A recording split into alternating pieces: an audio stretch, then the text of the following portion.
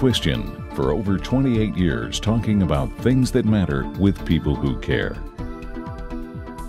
Production of McCuistion is made possible in part by individual viewers, supporters of the Foundation for Responsible Television, the Hatton W. Sumners Foundation, helping to educate the public about the fundamental principles of their democracy and thus be in a position to help formulate public policy.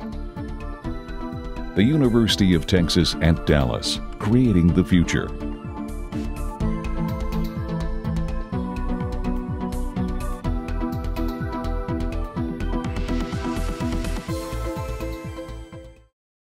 Well, welcome to the program. I'm Dennis McCuistion, and I'm joined with my co-host Jim Falk. Jim, how are you today? I'm really looking forward to today's topic. Tell us a little bit about it.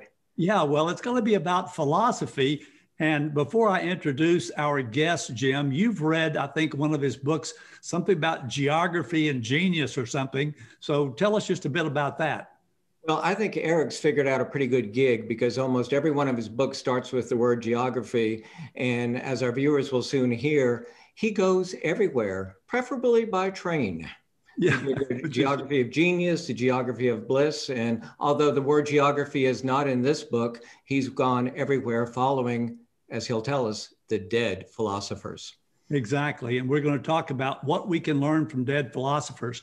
Eric Weiner is the author of several books, and one, including one, as Jim mentioned, the New York Times bestseller, Geography of Bliss, which has been translated into 20 languages and of course, we're going to be talking about mostly his new book, which is called The Socrates Express. And so, uh, Eric's background is National Public Radio. For a lot of years, he's been in 30 different countries from Iraq to Indonesia, reporting the, the news of the day.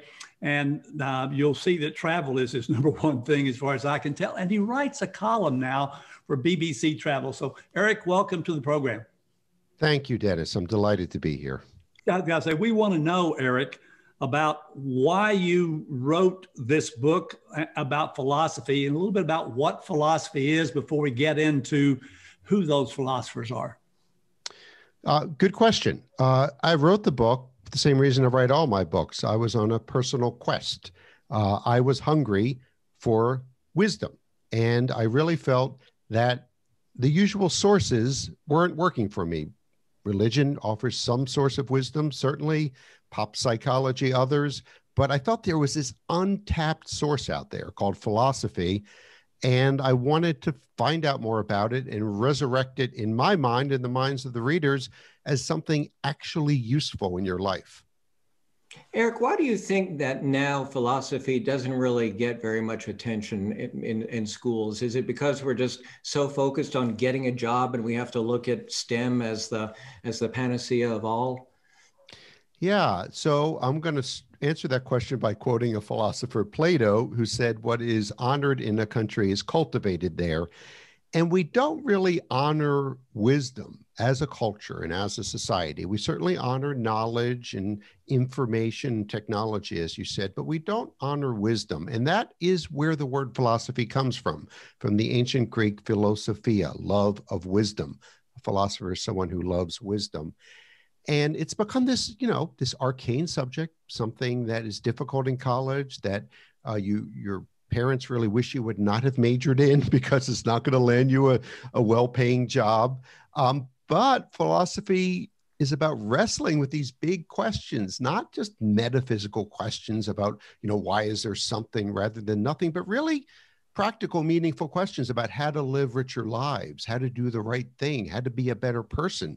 These are questions I think that should matter to everybody. Well, I think you're right. And we did a program years ago uh, uh, called Philosophy Who Needs It? And it was um, one of the people we had on was the follower of Ayn Rand, who is a philosopher you know and is not one you wrote about because even though she is dead now. Um, but I, I, think that you would, in your book, say that we all need it basically. And I, I want you to talk a little bit about Marcus Aurelius to start with. And I want to mention one thing about what I liked about his chapter because he talked about getting out of bed in the morning, something I can't do, don't want to do under any circumstances. I never thought about Aurelius as a philosopher, number one. So give us a bit about him. Okay, well, Dennis, you clearly have something in common with a Roman emperor. Um, I don't know what else you may have in common, but he was a Roman emperor, first century AD, and he was an amateur philosopher. Um, he was very much into Stoicism, but he read the others as well. Uh, and we know him mainly through this book called Meditations. That was really a, a journal that he kept, uh, notes to himself. Uh, and it's a remarkable work considering that it's several thousand years old. It seems just so relevant today. And as I was reading it, I noticed that he kept saying, when you have trouble getting out of bed or complaining that he can't get out of bed. And I thought, he's just like me and like Dennis. He can't get out of bed. And he wrestles with that question. And uh, I take some liberties with his wrestling and come up with my own philosophical, philosophical technique for getting out of bed. Do you want to hear it? Yes. Okay. So it's basically you think, how can I be useful to other people? Um, you, it's hard to get out of bed when it's just for yourself.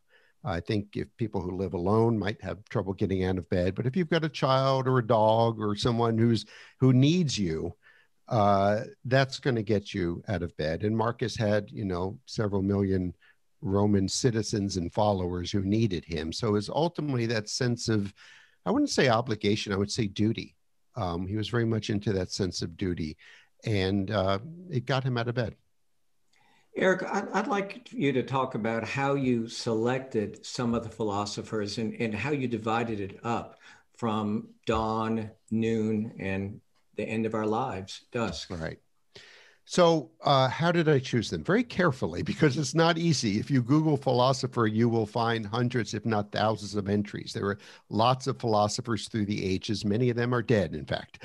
Um, and so, I really went with my gut, Jim. I, I I chose ones who spoke to me, ones who were imperfect beings like myself, misfits to some extent, um, didn't quite fit in, um, and ones who who really asked these personal questions, who took philosophy very personally, and uh, the idea of dividing it from dawn, noon, and dusk was that you know we, these how-to questions. Each chapter is a how-to question, like how to get out of bed, uh, how to wonder, how to be, you know, how to uh, cope with difficult situations, how to grow old, how to die. Well, those questions have different prominence during different stages of our lives. Um, so the dawn, noon, and dusk mirrors our lives. The questions as a young person that you ask, the questions as someone in the peak of your life you might be asking, and questions about old age and death and coping that that really come to the fore later in life. We talk so much now about how we cannot have civil discourse, and maybe you can boil it down to the fact that we don't know how to listen to others. What philosopher should we read, should we consider to understand, to improve our own method of perhaps communicating with people we disagree with? Hmm, two come to mind Schopenhauer, who was a pretty grumpy German philosopher but very much valued listening. He loved music and had a whole philosophical theory of music. Um, but he also thought it was important that we listen to our own voices. Now, he's writing in the 19th century, Jim, but he's warning about the dangers of multitasking and the dangers of turning to books for answers instead of turning inward. And you can just substitute Google in the internet for books, and you see what he's talking about um, not listening to your own voice. You can't really converse well with others if you're not first listening to yourself. So Schopenhauer would be one. He wrote a series of fabulous essays, uh, some of them on listening. And the other is actually Mahatma Gandhi, um, who was very much about conflict and about fighting um, in the best way possible. Um, and Gandhi famously said that he had many adversaries, many opponents, but no enemies. He didn't see his opponents as enemies. And unfortunately, in America today, we tend to see anyone who disagrees with us as an enemy.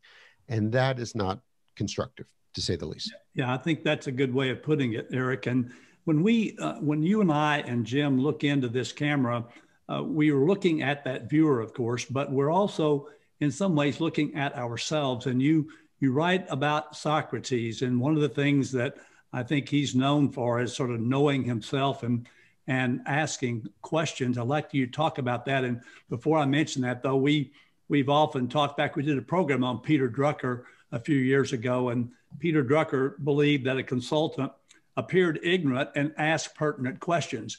And Jim and I have, were born appearing ignorant. We're just trying to learn the questions. All right. So, what can Socrates help us with there?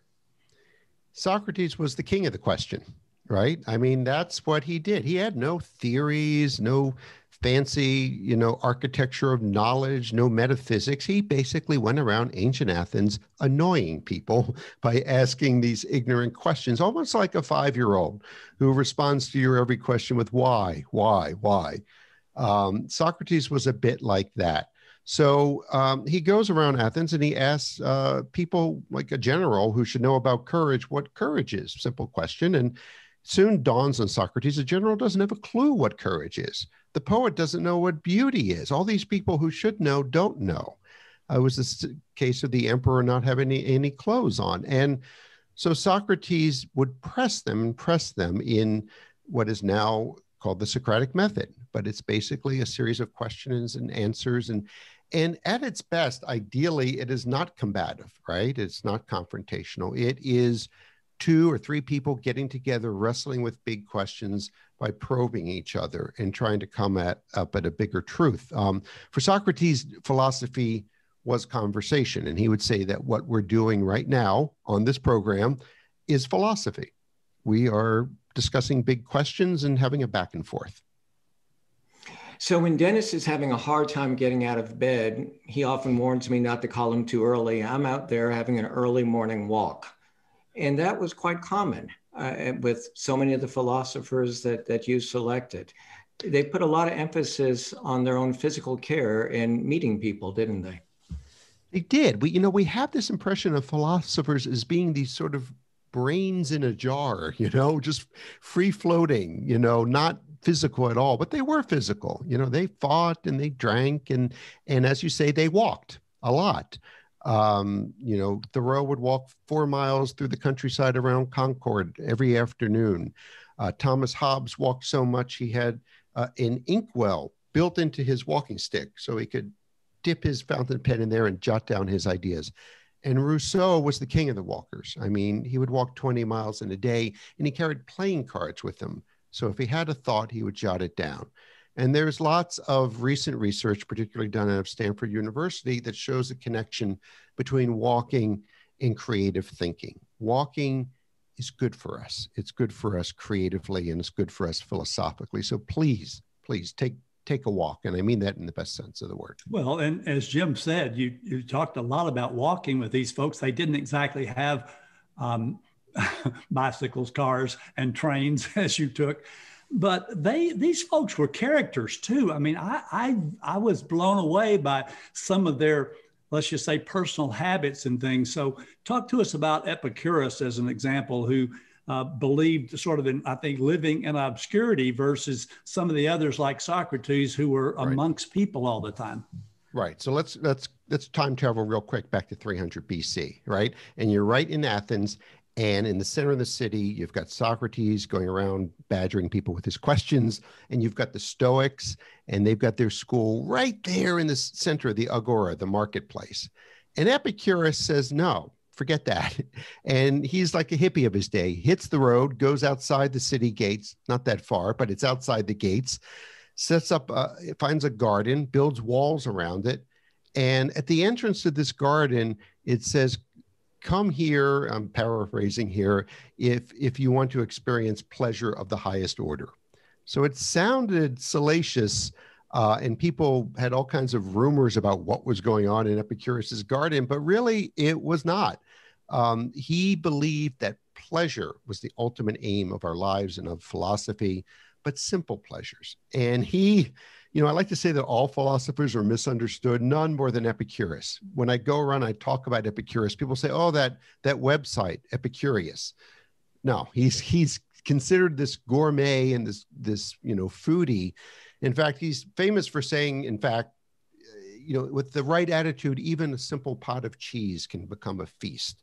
And he thought that we chase these higher pleasures. He called them unnatural and unnecessary pleasures to our detriment. And that really our task is to, to really distill the most pleasure as we can from the simplest of activities and foods, etc. I mean, moreover, he was comfortable drink water, don't seek wine.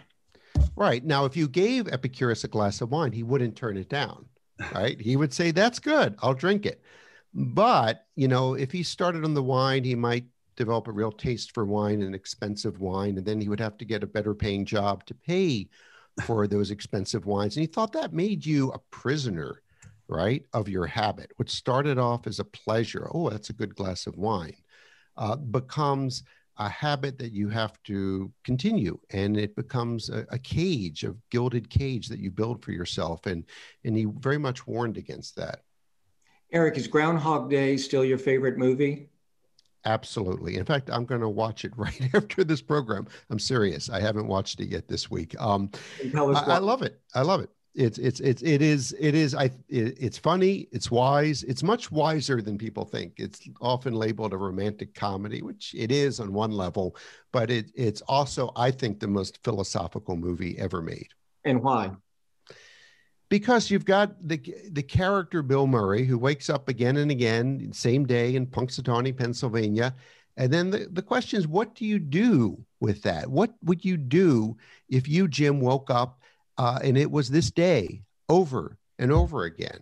It, it, forces you to look at the choices you make in your life. It, it forces you to look at the kind of life you're leading. Because if, if that day repeats for all eternity and our lives repeat themselves, there's no such thing as, as small moments or, or trivial encounters.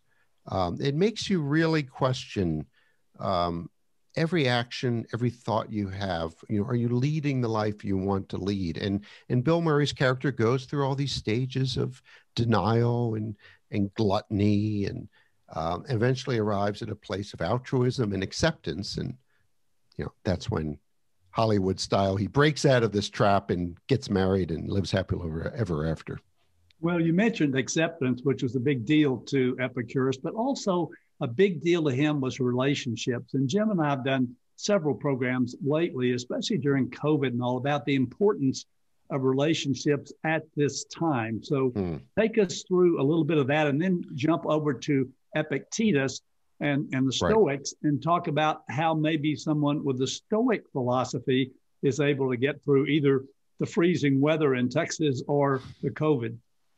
Good, good questions. Well, uh, Epicurus, right, as I said, valued pleasure, and he considered one of life's greatest pleasures was friendship. He said you should never eat a meal alone like the beasts and the wolves. That's not civilized. You should always eat with a friend. And he considered friendship the greatest source of pleasure. In fact, Aristotle wrote about um, about friendship and its importance.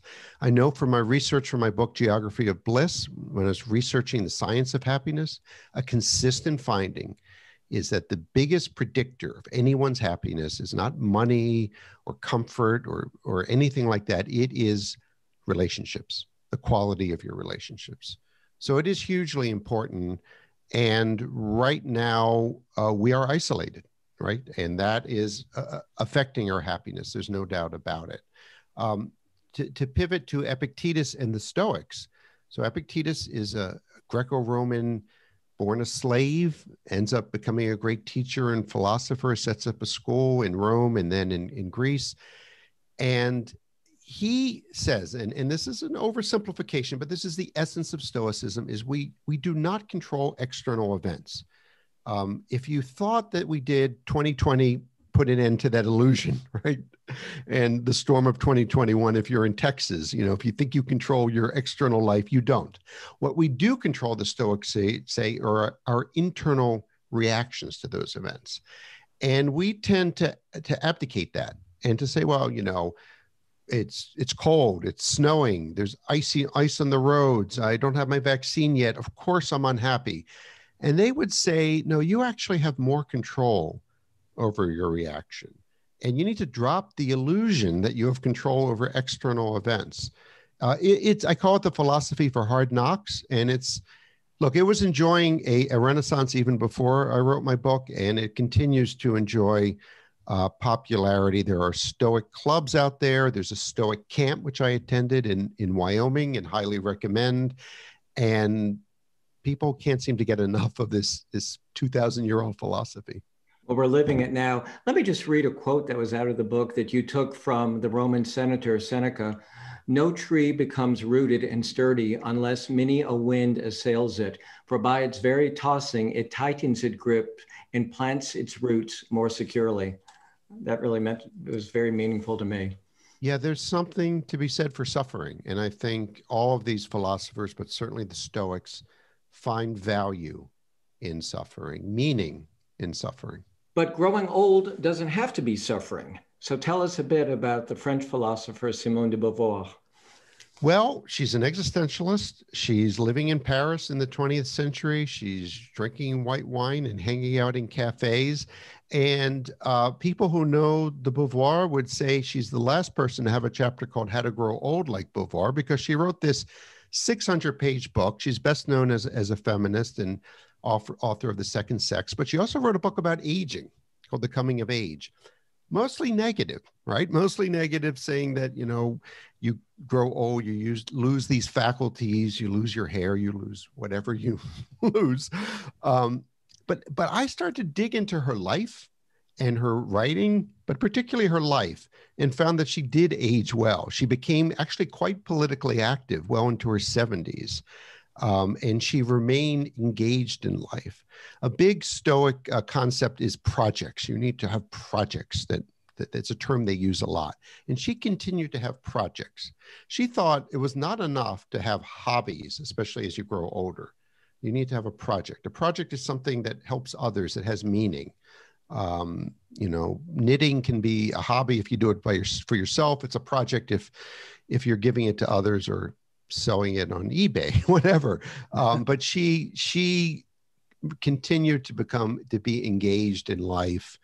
Um, and she also thought that one thing we could do when we get older is to go back and re-remember our lives, that we construct meaning and uh, memory takes place in the present, not in the past.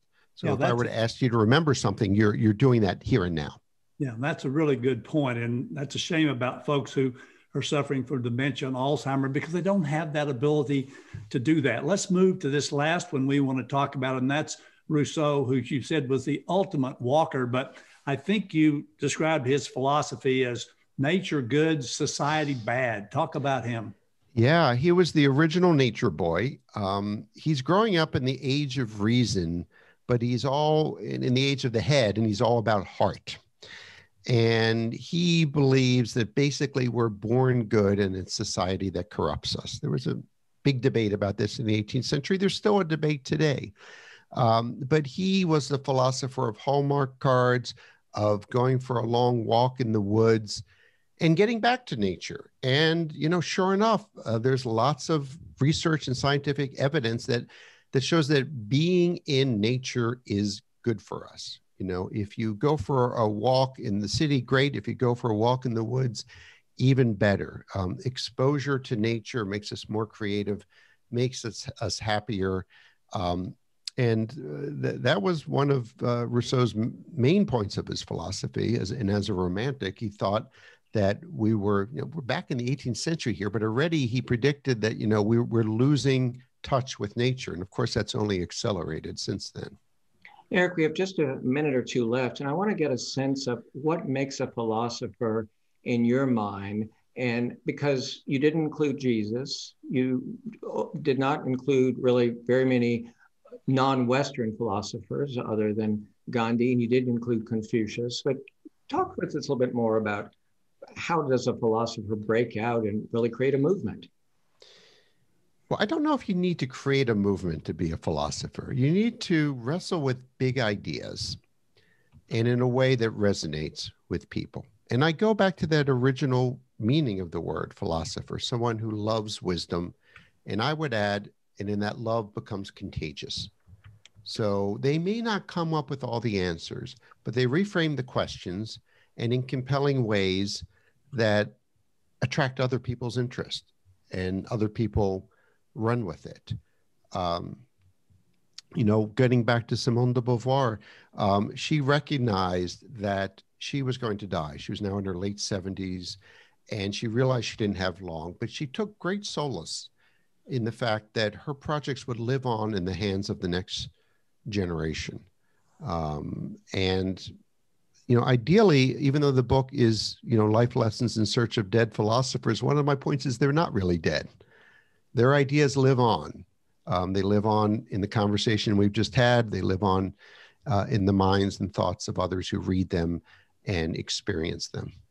Uh, Eric, I appreciate we just have a very short time. So, very hmm. quickly, what should that viewer remember for this. By the way, this is a project for Jim and me uh, that what we're doing here, we're trying to leave something for that viewer. What should they remember? And then, Jim, I'll give it to you to close. What should they remember? Mm-hmm. You should remember that these ideas and beliefs you walk around with, examine them, question them. Where did they come from? Are they really yours?